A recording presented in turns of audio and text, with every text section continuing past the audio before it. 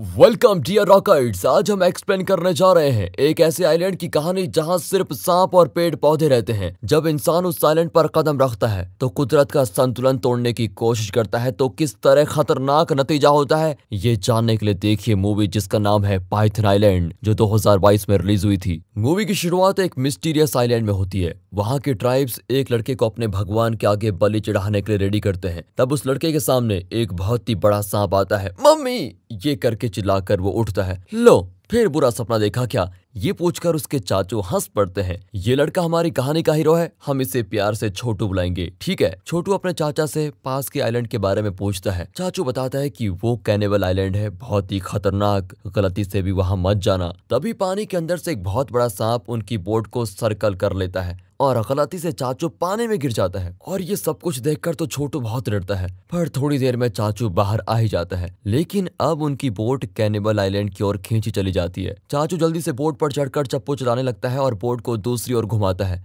लेकिन छोटू अचानक गायब। चाचू घबराकर ढूँढने उसको आइलैंड की ओर भागता है। लेकिन वहाँ पर एक जाइंट साइज़ का सांप को देखकर वो डर के मारे वापस अपने गाँव में चला चलाता है। फिर रोते हुए छोटू के पापा को पूरी बात बताता है। कैनिबल आइलैंड का नाम सुनकर छोटू के मम्मी पापा बिल्कुल रोने लगते हैं कि मेरे बेटे को वहाँ क्यों छोड़ा तुमने? सीन कट होता है और यहाँ कैनिबल आइलैंड में छोटू को दिखाते हैं, जो देखता है की हर तरफ़ छोटे बड़े सांप है। एक जगह तो कई मीटर लंबे सांप की खाल लटक रही होती है। अरे कोई मुझे बचाओ, ये करके छोटू चिल्लाता हुआ आगे बढ़ता है। अचानक एक पेड़ की टहनिया उसे पकड़कर ऊपर उठा लेती हैं। चाचू बचाओ चाचू बचाओ करके वो बहुत रोता है। इसी बीच उसके हाथ पर एक पिंक कलर का लोशन गिरता है। वो ऊपर देखता है तो ये लोशन नहीं, एक खतरनाक पौधे का जहरीला लिक्विड है। आसपास के सारे प्लांट्स डीटीएस साउंड के साथ ऊपर उठते हैं और उसे काटने आते हैं। छोटू खूब चीखता चिल्लाता है। यहाँ गाँव में दिखाते हैं तो चाचू, छोटू के पेरेंट्स और दूसरे गाँव के तीन आदमी कैनिबल आइलैंड जाने का फैसला करते हैं। लेकिन सरपंच उन्हें जाने से मना करता है। कैनिबल आइलैंड में प्रकृति की देवी रहती है। कोई वहाँ गया तो वो पूरे गाँव को शाप देगी। लेकिन अब उसके पापा कहते हैं कि अगर आपका बेटा खो जाता सरपंच जी तो क्या आप देवी के डर से यहीं बैठे रहते क्या? मैं तो अपने बेटे को बचाने ज़रूर जाऊँगा। देवी श्राप देती है तो दे दे। तीन गाँव वाले जो छोटू को ढूँढने के लिए निकले थे, वे असल में कैनिबल आइलैंड के रेयर फूलों को तोड़कर अच्छे दाम पर बेचना चाहते हैं। लेकिन वे सरपंच की क्लास लेते हैं कि हम तो दूसरे गाँव के हैं, फिर भी इस बेचारे बाप की मदद करना चाहते हैं। लेकिन आप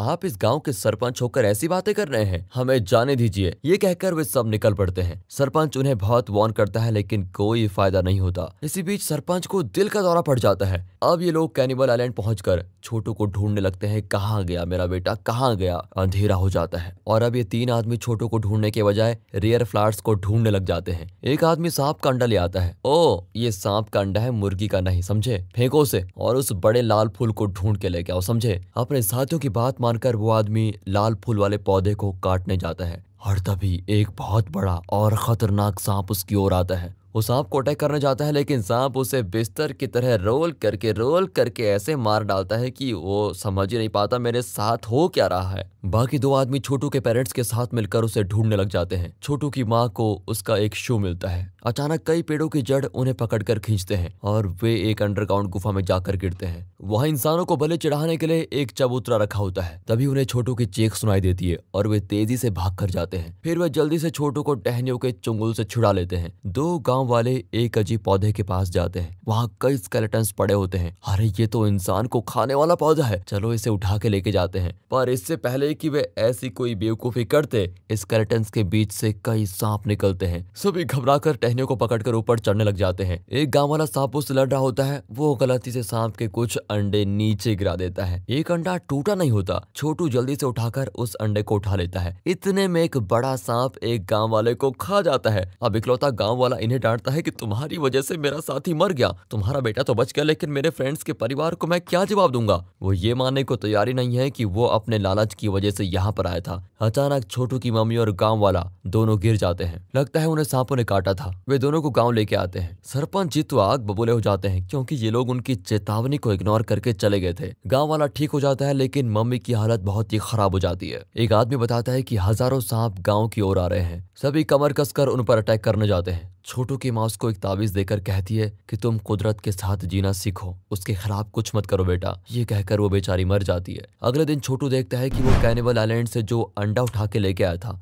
उसमें से एक सांप का बच्चा निकला है और ये गोल्डन कलर का होता है। छोटू अपनी माँ की बात को याद रखता है और गोल्ड स्नेक से कहता है कि तुम भी मेरी तरह अपनी माँ से अलग हो गए हो, है ना? डरो मत, मैं तुम्हें अच्छे से रखूँगा। वो गोल्ड स्नेक का नाम गोल्डी रखकर उसे सभी से छुपाकर पालने लग जाता है। फिर एक दिन पापा को पता लग जाता है और वो डांटते हैं क्योंकि इस सांप की वजह से ही दूसरे सांप यहाँ पर आए हैं। बेचारा छोटू गोल्डी को पानी में छोड़ देता है और बहुत रोता है। गोल्डी भी उसको बहुत देर तक देखता रहता है और बार बार उसके पास आता है। लेकिन छोटू उसको ना चाहते हुए भी हटा देता है। आखिर में गोल्डी को भी जाना पड़ता है और उसके साथ के दूसरे सांप भी कैनिबल आइलैंड की ओर निकल पड़ते हैं। कई साल बाद छोटू एक रिसर्च कंपनी में बायोलॉजिस्ट बन गया है। अब हीरो को छोटू नहीं बोल सकते, इसलिए इसका नाम है जैंग। तो जैंग ने बचपन में कैनिबल आइलैंड में एक सिंबल देखा था। वो सोचता है कि मैं सिंबल का रहस्य ज़रूर पता लगाऊँगा। तभी उसको एक मीटिंग में बुलाते हैं। कंपनी का चीफ रिसर्चर एक डॉक्टर है। वो बताता है कि हमें अपने नए रिसर्च के लिए कैनिबल आइलैंड के गोल्ड एंड सिल्वर कलर के फ्लावर की ज़रूरत है। उस प्लांट के जीन्स अगर हमें मिल गए तो हमारी कंपनी को बहुत बड़ा फ़ायदा होगा। फिर वो जैंग को इस मिशन को लीड करने को कहता है, क्योंकि कैनिबल आइलैंड जैंग के गाँव के बहुत ही पास है और वो उस जगह के बारे में बहुत कुछ जानता है। कंपनी की सीईओ अपने बेटे का इंट्रोडक्शन देती है। ये भी इनकी टीम में काम करती है और यही है मूवी की हीरोइन माया। इसी बीच चाचू जैंग को फ़ोन करके रोता हुआ कहता है कि, बेटा, गाँव कब आओगे? तुम्हारे पापा तुम्हें बहुत मिस करते हैं। यही नहीं, गाँव वाले कई सालों से सांप पकड़कर उसकी खाल बेचते हैं, लेकिन अब उन्हें कोई बीमारी होने लगी है। जैंग अब जल्द ही अपने गाँव चला जाता है। गाँव वालों को अजीब तरह की एलर्जी हो रही होती है। जैंग सीधे अपनी माँ की कब्र पर जाता है। अपने पापा से ठीक से बात तक नहीं करता। सिर्फ़ इतना कहता है कि आप गाँव वालों को सांप पकड़ने से मना कर दीजिए, प्लीज़। उसी रात नया सरपंच एक मीटिंग बुलाता है। ये वही आदमी है जो कई साल पहले जैंग के पेरेंट्स के साथ कैनिबल आइलैंड में गया था और वहाँ के रेयर प्लांट्स को तोड़कर बेचना चाहता था। वो गाँव वालों को बताता है की ये रिसर्च कंपनी कैनिबल आइलैंड की कीमती प्लांट्स को तोड़ना चाहती है। उस प्लांट से गाँव में फैल रही बीमारी भी रोकी जा सकती है। वे हमें बहुत सारे पैसे भी देंगे, इसलिए हमें उनकी मदद करनी चाहिए। ना चाहते वे भी सभी को उसकी बात माननी पड़ती है। अगले दिन वे आइलैंड के लिए निकल पड़ते हैं। सभी वेपन्स लेकर आते हैं। जैंग को ये बिल्कुल भी ठीक नहीं लगता, लेकिन वो कुछ कर भी नहीं पाता। आइलैंड पर सरपंच का आदमी एक अजीब प्लांट को तोड़ने जाता है। लेकिन पास जाते ही उस प्लांट में जाना जाती है और वो उस पर अटैक करता है। जैंग सबको एक गुफा के अंदर सेफली लेके जाता है। वहाँ सीईओ एक प्लांट को तोड़ती है तो आसपास के प्लांट्स मुरझा जाते हैं। डॉक्टर बताता है कि यहाँ के सारे प्लांट्स एक दूसरे से जुड़े हुए हैं। पर गोल्ड एंड सिल्वर प्लांट इन पौधों की मस्तिष्क की तरह है। उसे तोड़ देंगे तो यहाँ के खतरनाक पौधे भी मर जाएँगे। इसी बीच कुछ पेड़ पौधे इन पर अटैक करते हैं और वे भागते हैं। जैंग प्लांट से लड़ रहा होता है लेकिन एन वक्त पर माया उसको एक खतरनाक प्लांट से बचा लेती है। अब ये लोग दो ग्रुप्स में बढ़ चुके हैं। एक और जैंग और माया, दूसरी ओर कंपनी के लोग और कुछ गाँव वाले। वे एक चबूतरे के पास होते हैं कि अचानक एक बहुत बड़ा सांप आता है। सरपंच उसे शूट करता है तो सांप का गुस्सा और बढ़ जाता है। वो तेज़ी से इनके पीछे आता है। अब ये एक छोटे से गैप से बच निकलते हैं, लेकिन सांप उसमें घुस नहीं पाता। यहाँ एक गोल्डन कलर का पाइथन जैंग के पास आता है। वो मरने के लिए तैयार होता है और घुटने टेक कर आँखें बंद कर लेता है। पाइथन उसके पास आता है और उसे काटने की बजाय उसके माथे पर चुम्मी देकर दूर हट जाता है। तब जैंग को याद आता है कि ये तो गोल्डी है। जैंग को विश्वास ही नहीं होता कि गोल्डी ने इतने साल बाद भी उसको पहचान लिया है। वो गोल्डी को प्यार से सहलाता है और माया को भी उसको टच करने देता है। इसने फ्रेंडली सांप को देखकर माया तो बिल्कुल हैरान हो जाती है, लेकिन तभी गन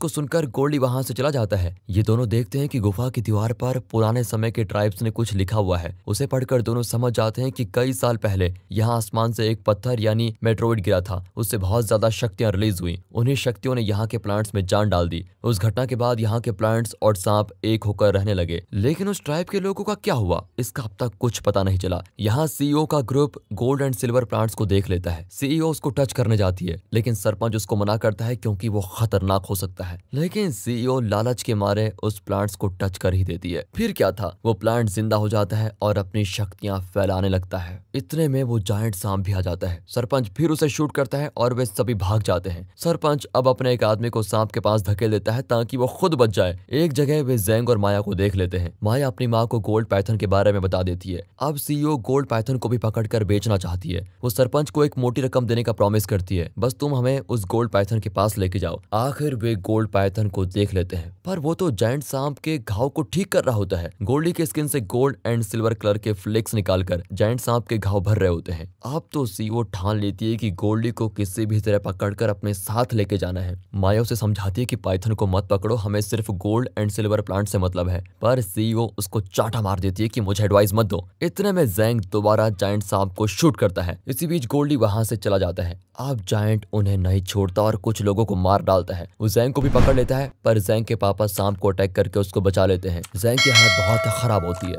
और तभी गोल्डी आकर उसे टच करता है। अचानक जैंग के सारे घाव ठीक होने लग जाते हैं। माया अपनी माँ से विनती करती है कि जैंग ने बचपन में गोल्डी को पाला था। प्लीज़ गोल्डी को यहीं छोड़ दो। लेकिन सरपंच प्लान बना चुका है कि गोल्डी के ज़रिए हम जायंट सांप को मार डालेंगे। फिर गोल्डी और यहाँ के प्लांट्स को लेकर हम बच निकलेंगे। ये कहकर वो गोल्डी के सर पर ज़ोर से मारता है और वे उसको एक नेट में बाँध कर ऊपर लेके आते हैं। फिर वे जायंट का इंतज़ार करते हैं। जायंट सांप गोल्डी को बचाने आता है तो सरपंच उस पर लगातार शूट करता है, पर वो बुलेट प्रूफ की तरह बुलेट्स को बाउंस कर रहा होता है। फिर अपनी तगड़ी पूंछ से सरपंच को पीटता है। इसी बीच वो माया की माँ को भी अटैक करता है। माया अपनी माँ को बचाने के लिए जायंट पर शूट करती है। अब जायंट माया की ओर झपड़ता है। जैंग एन वक्त पर माया को हटा देता है और इसी बीच जायंट जाकर गोल्ड एंड सिल्वर प्लांट पर गिरता है। इससे गोल्ड एंड सिल्वर प्लांट की जड़ टूट जाती है और वो मुरझा कर गिर जाता है। जैंग और माया अब बाहर आ जाते हैं। जैंग को दो हीलिंग प्लांट्स देखते हैं जिसकी मदद से गाँव वालों का इन्फेक्शन ठीक किया जा सकता है। वो इन प्लांट्स को सीक्रेटली उठाकर रख लेता है। इतने में बाकी लोग बाहर आ जाते हैं। सरपंच ने सुना है कि इस गोल्डन कलर पाइथन का खून पीने से इंसान कई सौ साल ज़िंदा रह पाते हैं। वो गोल्डी को काटने जाता है, पर जैंग उसको रोक लेता है और फिर सरपंच उसको मारने पे उतर आता है। अचानक गोल्डी नेट फाड़ कर बाहर आता है और सरपंच को काट लेता है। उसका जहर सरपंच के अंदर उतरता है और वो बेहोश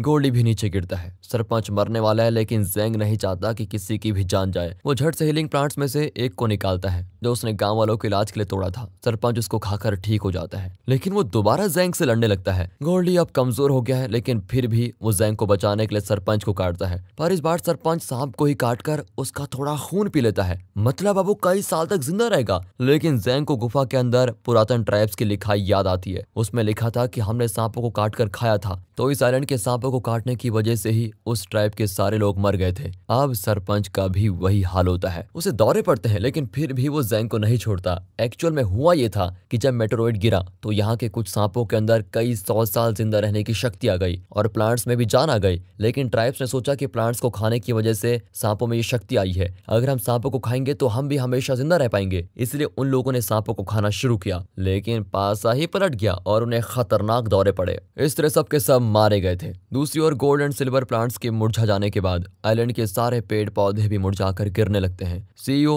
माया को लेकर भाग जाना चाहती है, लेकिन माया जैंग को छोड़कर नहीं जाएगी। वो सरपंच पर एम करती है, लेकिन उसका निशाना चूक जाता है। अब सरपंच गन छीन लेता है और जैंग को शूट करने जाता है। तभी जायंट सांप उसको निकल कर ज़मीन के अंदर चला जाता है। ये आइलैंड अब मिटने को आ गया है। सारे पेड़ पौधे नष्ट हो चुके हैं। जैंग और माया बचकर भागते हैं और गोल्डी उन्हें सेफली बोट तक पहुँचा देता है। लेकिन वो बहुत ही घायल है और आगे नहीं बढ़ पाता। अब जैंग दूसरा हीलिंग प्लांट्स उसको देने जाता है। सीईओ कहती है कि इस प्लांट से हमारी कंपनी को बहुत फ़ायदा होगा। उसे इस पाइथन पर वेस्ट मत करो। जैंग उसे जवाब देता है कि मुझे लगता है गोल्डी इंसान है और आप सांप है। ये कहकर वो गोल्डी को हीलिंग प्लांट्स देता है। उसको खाकर गोल्डी बिल्कुल ठीक। फिर वे आइलैंड से चले जाते हैं। गोल्डी दूर तक जैंग को देखता ही रहता है। गाँव में आकर जैंग अपने तरीके से गाँव वालों के इन्फेक्शन की दवाई बनाता है। लोग धीरे धीरे ठीक होने लग जाते हैं। लास्ट सीन में दिखाते हैं कि माया जैंग से मिलने गाँव में आती है और इसी के साथ दोस्तों, ये मूवी यहाँ पर खत्म हो जाती है। तो दोस्तों, कैसी लगी आपको ये मूवी अगर वीडियो अच्छी लगी हो स्टोरी अच्छी लगी हो एक्सप्लेनेशन अच्छा लगा हो तो इसे ज़्यादा से ज़्यादा शेयर करें। वीडियो को लाइक कीजिए और चैनल को सब्सक्राइब मिलते हैं अगली वीडियो में, तब तक के लिए गुड बाय अपना ख्याल रखें and finally thanks for watching